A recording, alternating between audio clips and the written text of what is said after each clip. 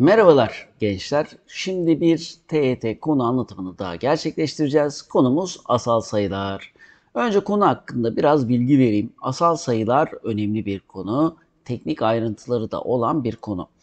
Hem TET'de hem de AYT'de soru çıkıyor. Sizi şaşırtabilir belki ama bazı TET konuları AYT'de de soru getiriyor. Bunlar mesela asal sayılar, faktöriyel, EBO ve KOK, üçlü, köklü sayılar. Bunlara bir kat daha fazla önem vermek lazım. Çünkü iki bölgeyi de ilgilendiriyor sonuçta. Hem TYT'yi hem de AYT'yi. Asal sayıların çok teknik bölgeleri de var. Ama o konulardan bahsederken de bir kez daha söyleyeceğim. Artık yeni sınav formatında çok fazla kurala dayalı soru sormuyorlar. Ama müfredatta olduğu için bizim de anlatmamız gerekiyor. Yani sonuçta sormayacaklar demek de değil. Şimdi asal nedir? Pozitif bölenlerinin kümesi iki elemanlı olan sayılara denir. Örneğin 3'ün bölenleri neler arkadaşlar? 3'ün bölenleri 1 ve 3. 7'nin bölenleri 1 ve 7. Yani bölenleri 2 elemanlı olacak. Birin böleni 1. O yüzden asal değil. En az 2 eleman, pardon en az demeyeyim. Sadece 2 elemanlı olması gerekir. Asal sayılar içinde sadece ve sadece 2 çift asal sayıdır. Çift asal sayı. Onun dışındakilerin tamamı tek sayılardır. Ve bunlar tek sayılar olduğu için aralarındaki fark en az 2'dir. Bazen 2'den de fazla olur. Yani 7'den sonra 11 gelir mesela. 4 fark vardır. Ama aralarındaki fark 1 olan sadece ve sadece 2 ve 3 vardır. Negatif sayılar asal değildir. Yani eksi 2, eksi 3, eksi 5 bunlar asal değildir. Şimdi sorularımıza bir bakalım. Bu konunun pdf'ini yine arkadaşlar açıklamalar bölümünde bulabileceksiniz. Oradan önce pdf'i indirip daha sonra beraber konuyu işlerseniz çok daha faydalı olur. Kanalıma abone ol, olun ve videolarımı da beğenin demeyi de gerekli görmüyorum. P1 asal sayı ise 2P artı 1 sayısı da asalsa P'ye Sophie German asalı denir. Buna göre aşağıdakilerden hangisi Sophie German asalı değildir? İşte bu tarz sorular da gelebiliyor. Özellikle nereden geliyor? Nerede geliyor arkadaşlar? TET'de geliyor.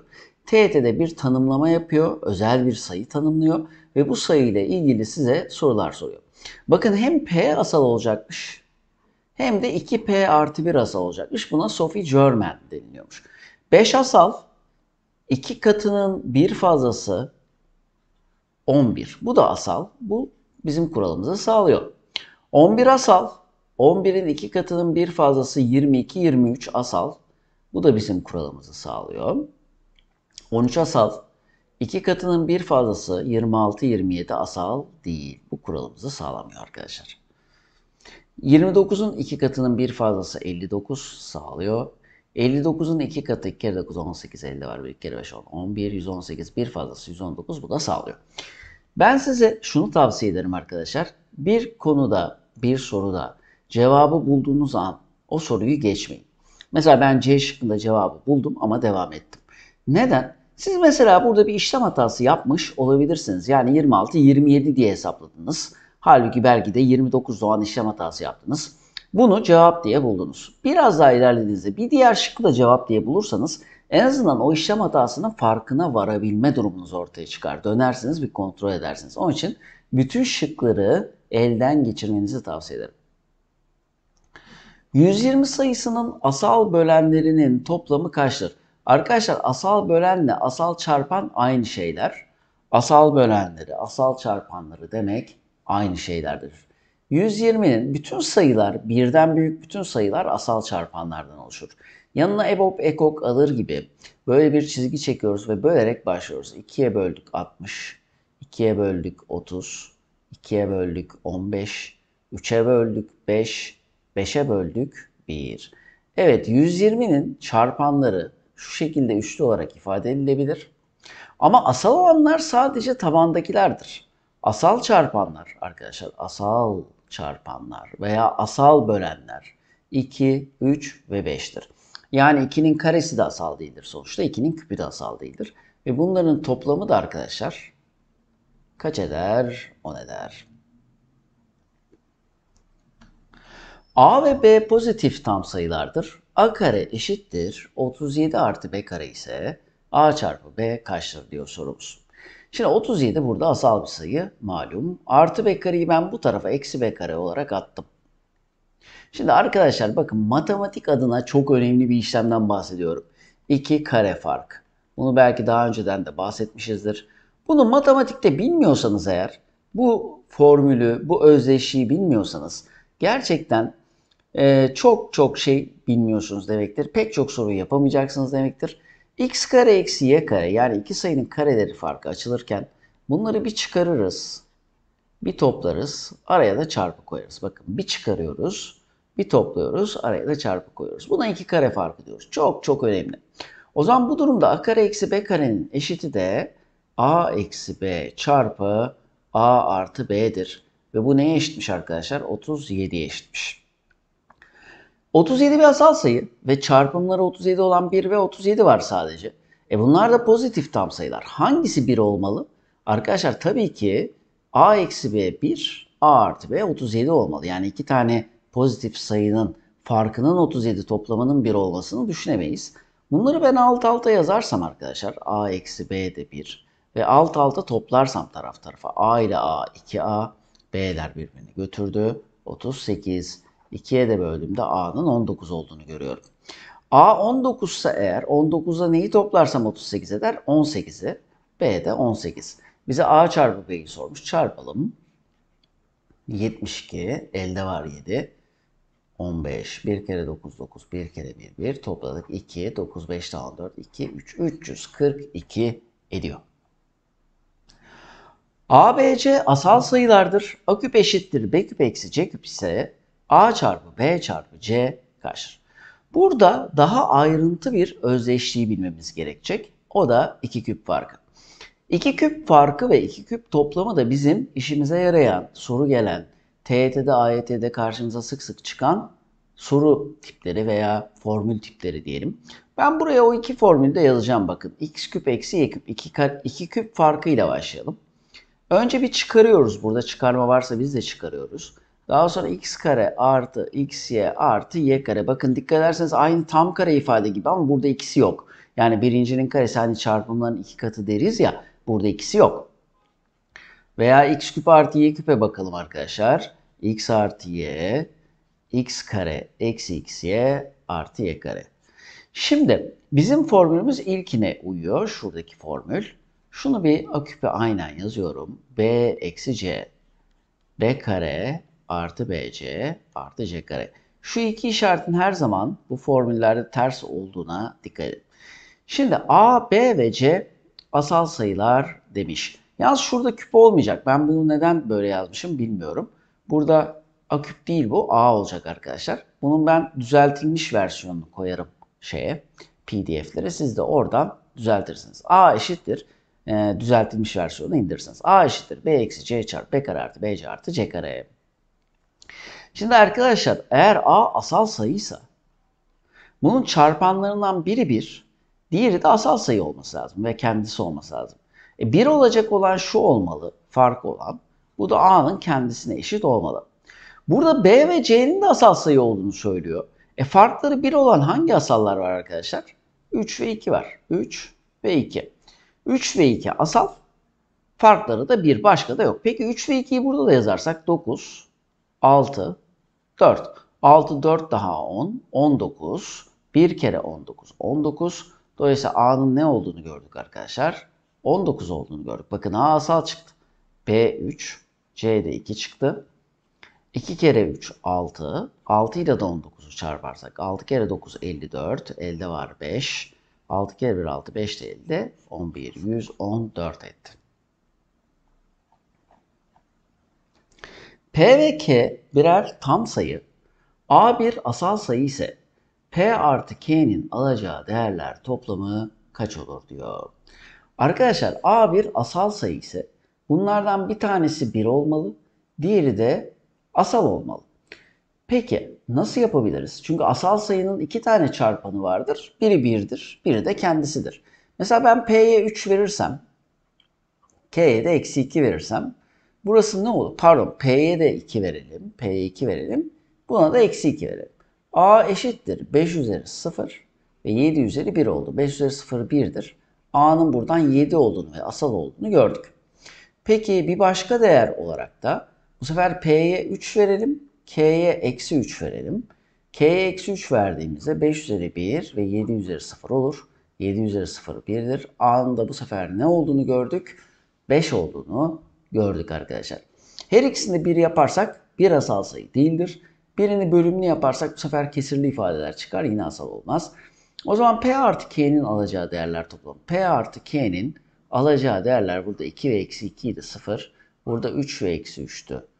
Ee, yine 0. Dolayısıyla P ve K'nin alacağı değerlerin toplamı da 0 çıkar arkadaşlar. Şimdi geldik size bahsettiğim biraz daha formülize olan bölümlere. Bir sayının pozitif tam bölenlerini bulmak veya tam sayı bölenlerini bulmak bir formül işi, bir yöntem işi. Bunu size göstereceğim. Ama bu tarz sorular dediğim gibi üniversite sınavında çok fazla çıkmıyor. Neden? Daha kurala dayalı olaylar. Halbuki üniversite sınavı artık daha fazla böyle zekayı çalıştırıcı, e, yoruma dayalı sorular sormayı seviyor. Ama yine de müfredatta olduğu için çıkabilir. Biz gösterelim. 200 sayısının pozitif bölen sayısı. Önce bir 200'ü asal çarpanlara ayıracağız. 2'ye bölün 100, 2'ye böl 50, 2'ye böl 25, 5'e böl 5, 5'e böl 1. Asal çarpanlar şeklinde yazdık. 2'nin küpü ve 5'in karesi. Arkadaşlar siz bu asal sayıların üstlerini birer arttırarak çarparsanız sayının pozitif bölen sayısını bulursunuz. 3'ü 1 arttırdınız 4, 2'yi 1 arttırdınız 3 ve bunları çarptınız 12. Demek ki sadece ve sadece asal çarpanların üstlerini birer arttırarak çarparsak o sayıyı bölen kaç tane pozitif sayı olduğunu buluruz. 200'ü bölen sayıları saysak 1 var, 2 var, 3 var, 5 var gibi falan 3 bölmüyor gerçi de 12 tane sayı bulabiliriz. Asal olmayan pozitif bölen sayısı. Şimdi pozitif bölen sayısı kaçtı arkadaşlar? 12 idi. Peki asal bölenleri neler var burada? 2 ve 5 bakın. 2'nin küpü 5'in karesiydi sonuçta. Ee, asal bölenler 2 ve 5 olduğu için tüm pozitif bölenlerden asal olan 2 taneyi çıkarsam 10 tane asal olmayan bölenin olduğu ortaya çıkar. Tam sayı bölenlerinin sayısı. Bunun pozitif bölenden ne fark var? Negatif sayılar da devreye giriyor. Tam sayı dediğimizde eksi bölenler de devreye giriyor. Bakın bir sayısal örnek üzerinden gidelim. Mesela 3'ün bölenleri ne var arkadaşlar? 1 ve 3 var. Negatif olarak ne var? Eksi 1 ve eksi 3 var. 2 tane pozitif, 2 tane de negatif böleni var. Dolayısıyla arkadaşlar kaç tane pozitif bölen varsa o kadar da negatif böleni var. O zaman 2'nin küpü ve 3'ün karesiydi. 4 çarpı 3'ten üstleri birer arttırarak 12 tane pozitif olduğunu bulmuştuk. Bunu 2 ile çarparsak 24 tane tam sayı böleni olduğunu görürüz. Özellikle şu ana kadar anlattığım bu 3 madde, ilk 3 maddeyi iyi bilin arkadaşlar. Bunlardan soru gelirse gelebilir. Şimdi birazdan anlatacağım pozitif çift bölen sayısı, tek bölen sayısı gibi şeyleri çok çıkma ihtimali görmüyorum ama yine de anlatalım. Şimdi bizim sayımız 2'nin küpü ve 3'ün karesiydi. Çift bölenlerinin sayısı diyor. Şimdi bir sayının çift olması için içinde iki çarpanının geçmesi lazım. Ben buradaki bir tane 2'yi ayırıyorum bizim bölen için. Ve bunu işlem dışında tutuyorum. 2 çarpı bunun yanına neler gelebilecek? Bunun yanında şimdi ne var? 2'nin karesi, 3'ün karesi var. Bu iki sabit arkadaşlar. Sadece şunların bölen sayısını buluyoruz şimdi. Üzerlerini birer arttırıp çarpalım.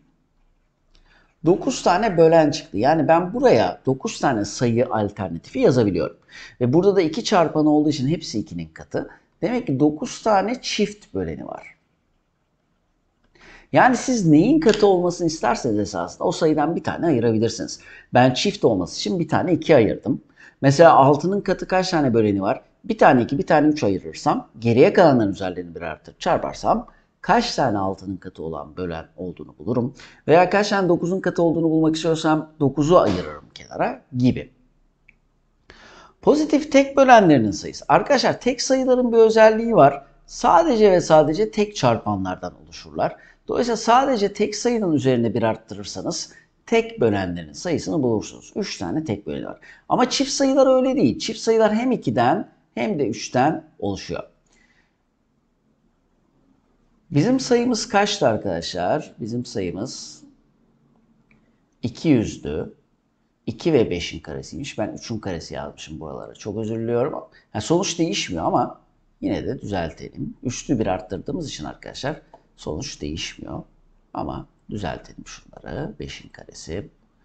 Evet 5'in katı olan pozitif bölen sayısı. Şimdi bakın 2'nin küpü ve 5'in karesiydi. Hangi sayının katı olacaksa o çarpandan bir taneyi ayırın demiştik. Bir tane 5'i ayırdım. Geriye kalanları yazdım üçlü olarak. Ve bunların üçlerini birer arttırıp çarpalım. 4 ve 2, 2 kere 4, 8 tane 5'in katı olan pozitif bölen var. Şu sayı 5'in katı olmayı bize garantileyen sayı oluyor arkadaşlar. Şimdi geldik farklı bir kavrama. Aralarında asal sayılar. Asal sayı farklı bir şey. Aralarında asal farklı bir şey. İki tane tam sayının tek e, ortak böleni birse biz onları aralarında asal deriz. Yani iki sayıyı da bölen bir sayı yok esasında. Bir zaten her sayıyı böler. 8 ve 15 ortak bölenleri var mı arkadaşlar bir dışında? Hem 8'i bölen hem de 15'i bölen bir sayı var mı? Yok. İşte biz bunu aralarında asal diyoruz. Ama bakın ikisi de asal değil. Burada asal olmak zorunda değil bunlar. 1 ile her sayı aralarında asal. İki sayı da asalsa ve birbirinin katı değilse yine aralarında asal. Ardışık sayılar aralarında asal. Ardışık aralarında asal. Şimdi aralarında asalla ilgili bir örneğimiz var. 3x artı 1 ve 2y eksi 3 aralarında asal pozitif tam sayılardır. 3x artı 1 bölü 2y eksi 3 30 bölü 21 ise x artı y toplamı kaçtır diyor. Şimdi burada yapmayacağımız şey içler dışlar çarpımı. Neden yapmayacağız? E zaten burada gruplar hazır. Ben içler dışlar yaparsam x ve y arasında bir bağıntı bulurum. Halbuki bana 3x artı 1 ve 2y eksi 3'ün aralarında asal olduğunu söylüyor. Onları hiç bozmayalım. Sağ taraf bakıyoruz aralarında asal mı? Değil. Bunları bir sadeleştiriyoruz. 3'e bölsek 10, 3'e bölsek 7. Bir içler dışlar yapıyoruz. 21x artı 7 20y hatta şöyle yapalım arkadaşlar. İçler dışlar yapmayalım demiştik. Hiç yapmayalım. Şöyle yapalım. Direkt karşılıklı eşitleyelim. Bir an dalgınlık oldu. 3x artı 1 10 2y eksi 3 7. Neden karşılıklı eşitledik? Onu da söyleyeyim.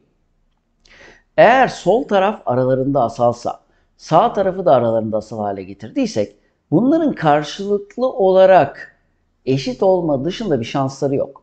Yani 10 bölü 7'nin herhangi bir katı zaten aralarında asal olamaz. Bir tek bunlar 10 ve 7 olabilir. O zaman 3x 9, x buradan 3 olur. 2y 10, y de buradan 5 olur. x artı y toplamı da 8 olur.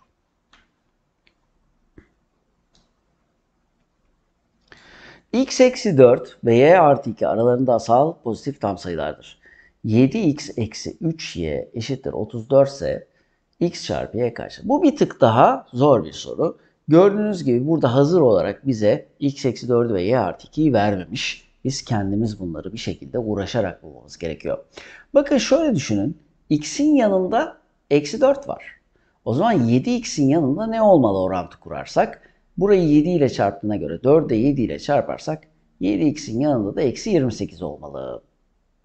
E buradan 28 çıkardıysak sağdan da 28 çıkaralım ki eşitlik bozulmasın. Şimdi ben şu 3y'yi de sağ tarafa atayım.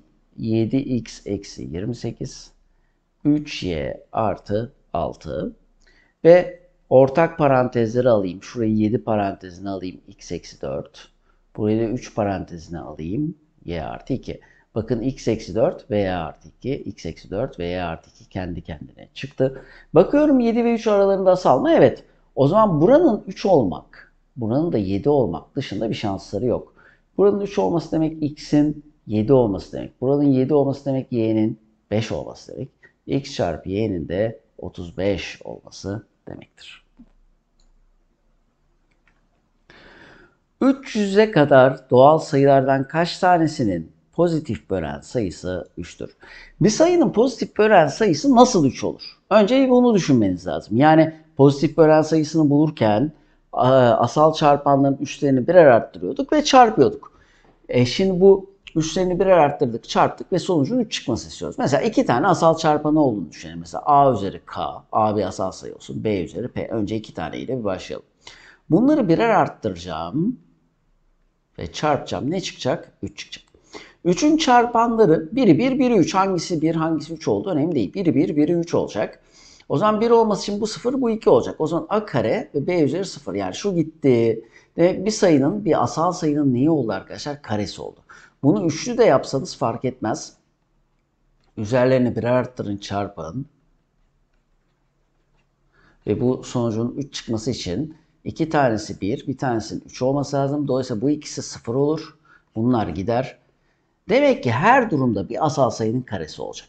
Bir asal sayının karesi olacak ve 300'den de küçük olacak. Küçük veya eşit 300'e kadar diyor.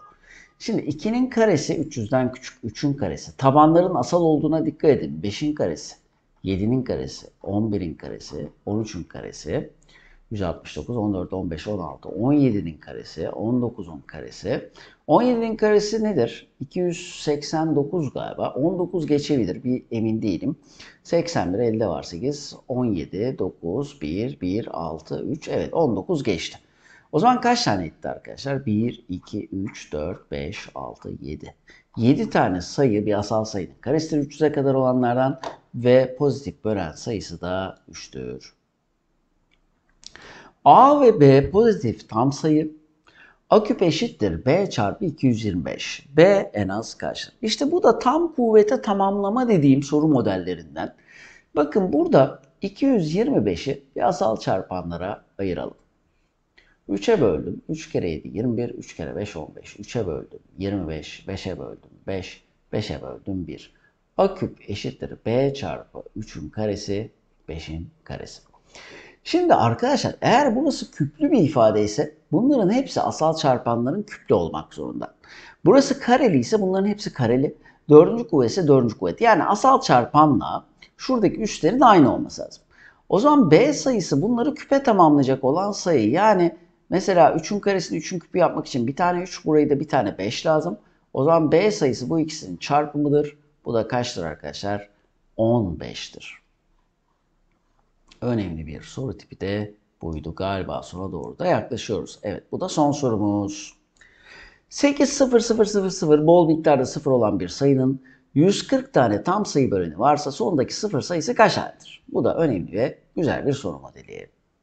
Şimdi kaç tane 0 olduğunu bilmediğim için ben buna n tane 0 var diyeyim bu bir. Bir de 140 tane tam sayı böleni var. Yani pozitif ve negatif bölenlerin toplam sayısı 140. Bunu ikiye bölersem yarısı 70 tanesi pozitif, 70 tanesi de negatif bölen olur. 70 tane demek ki pozitif böleni varmış. Bunu bir bulduk. Şu sayıyı arkadaşlar sonunda n tane sıfır varsa eğer 8 çarpı 10 üssü n şeklinde yazabilirim. 8 2'nin küpüdür. 10 üzerine 2 üzerine ve 5 üzerine şeklinde çarpanlar ayrılabilir. Bakın onun çarpanları 2 ve 5'tir ama üstü, üssü daha doğrusu bu n ikisine de dağılmak zorunda. Şimdi bu pozitif bölen sayısını bulurken size bir uyarıda bulunayım. İki tane aynı çarpandan olamaz. Bunları bir araya getirmek zorundasınız. Yani siz bunların ayrı ayrı üzerlerini bir arttırıp çarparsanız yanlış yapmış olursunuz. Önce bunları bir araya getireceksiniz. 2 üzeri n artı 3 çarparken biliyorsunuz üstler toplanır ve 5 üzeri n. Başka bir mesela burada bir, yine beşli bir ifade olsaydı onları da bir araya getirecektim. Şimdi ne yapmam gerekiyor? Üstleri birer arttırarak çarpmam gerekiyor. n artı 4 ve n artı 1 ve bu çarpımında 70 olmasını istiyoruz. E bir deneyelim. 1 versek 5 kere 2 10. Çok küçük geldi. 6 verdiğimizde bakın 10 ve 7 70 ediyor. n neydi arkadaşlar? Sondaki sıfır sayısı. Bize de sonda kaç tane sıfır var diyor. Soru köküne dikkat edelim. 6 tane sıfır var. Kaç basamaklı da diyebilirdi. O zaman bir tane de 8 olduğu için 7 basamaklıdır derdik. Arkadaşlar videolarımın daha hızlı gelmesi için lütfen izlediğiniz videoları beğenin ve kanalıma abone olun. Bazen videodaki yorum sayısı beğeni sayısından fazla oluyor. Videoyu çok beğendim diyor arkadaş ama beğene tıklamamış oluyor. Bunlar bizim için önemli. Motivasyon açısından önemli. Beğenirseniz videomu çok sevinirim. Devamı gelecek. Beni takip edin. Kendinize de çok iyi bakın.